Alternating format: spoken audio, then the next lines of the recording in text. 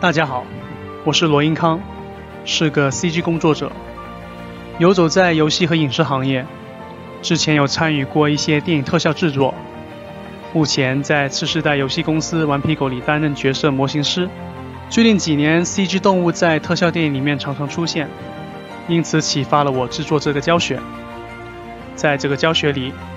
我们要制作一只小猪。之所以选择小猪的原因是，希望能够制作一些比较靠近我们日常生活中的家禽类动物。不过呢，猪这种动物不管在不同的文化里，好像都不是很讨喜。所以这对我来讲是一个挑战，看看能否在制作过程中提炼出它可爱讨喜的一面。在这个教学里，我会给大家详细介绍我的制作方法，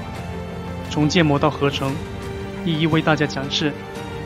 在教学里，我会覆盖 ZBrush 建模，如何制作有效又整洁的拓扑，给小猪绘制贴图，Xgen 毛发制作，Xgen 表达式和贴图